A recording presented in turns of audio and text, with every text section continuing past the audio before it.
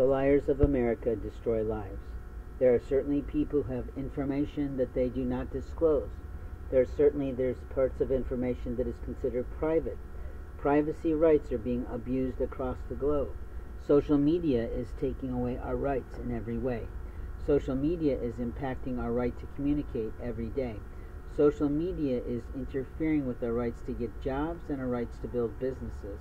Social media is also being used to do this, and therefore we have to be cautious about who does this in those companies and what they do with our information because everyone has a right to you, and everyone in theory has the right to me.